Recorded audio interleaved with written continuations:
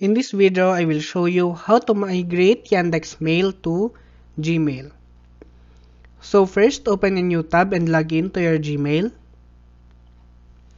Once done, click on this gear icon and select See All Settings. Here we will select Accounts and Import and click on Import from another address. Now you would like to sign in your Yandex account. Once done, simply click on Continue and another tab should open. Here you will open or you will select the mails from Yandex that you want to transfer from Yandex to Gmail and simply click on Continue. Once done, click the hit the done button and wait for the completion of the operation. Please click like and subscribe if you find this video helpful.